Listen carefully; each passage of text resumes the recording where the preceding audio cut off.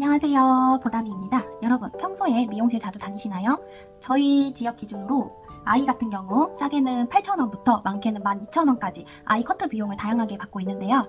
어느 순간부터 아이를 데리고 미용실 가기가 좀 부담스럽더라고요. 커트 비용도 있고 대부분의 미용실들이 이제는 예약제로 운영하기 때문에 상황에 따라서 예약 잡기가 힘들 때가 많다 이런 생각이 많이 들더라고요. 그래서 이제는 미용 가위를 이용해 셀프 미용을 해보려고 하는데요. 그 전에 제가 전문가용 미용 가위와 가성비가 있는 미용 가위를 소개시켜 드릴게요.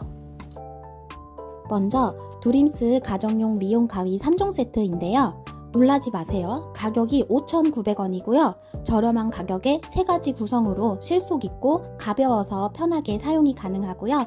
아이들 이발할 때 적당하다고 합니다. 다음은 두린스 전문 고급 미용실 커트 가정용 가위 세트인데요. 손이 편하고 날칼이 예리하고 개별 포장으로 보관하기에도 용이하며 정밀 미세 장력 조절이 가능해 누르는 감도 조절이 가능해요. 전문가용으로 경도가 높아 오래 사용이 가능하고요. 두림스 전문가용 가위 세트는 가격이 12,900원이고요. 두 제품 모두 이렇게 숯가위도 있죠. 이제 두 가지 제품 모두 사용해서 아이 셀프 미용을 하러 가볼게요.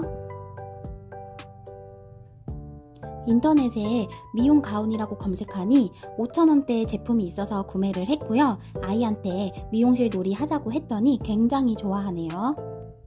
예약한 미용실에 가서 아이가 그날따라 컨디션이 안 좋아서 머리 자르기 싫다고 울거나 몸을 움직여서 미용사분들이 난처하실까봐 걱정하기도 했는데요. 아이도 집이 편해서 그런지 비교적 협조를 잘 해주었어요. 남편이 미용 기술이 있는 것도 아닌데 꽤 자연스럽게 잘 자르더라고요. 미용 가위가 날이 잘 들어서 그런 것도 한몫하겠죠.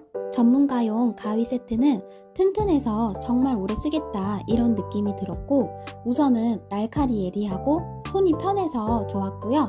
가정용 미용 가위 3종 세트는 빛까지 들어있으니 가성비가 정말 좋다고 느꼈어요. 앞머리를 자르거나 간단하게 머리를 다듬어 줄 때 이제는 미용실에 안 가고 집에서 잘 할 수 있을 것 같아요.